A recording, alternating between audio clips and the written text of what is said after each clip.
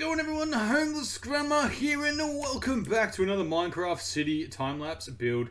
Uh, we are going to be smashing out this last little section of this little quadrant, finish the road, finish all the stuff, and then we are done this little section and we can move on to the next little section over there, which is going to be great. If you like this video, guys, make sure you smash that like button, hit that subscribe button, turn on post notifications to not miss out on any more videos on the channel. And uh, I have a goal of reaching 1,000 subscriptions. So if you could uh, help me out, reach my goal of 1,000, that would be greatly appreciated. It's completely free, and you can change your mind later on down the line if you don't enjoy the content.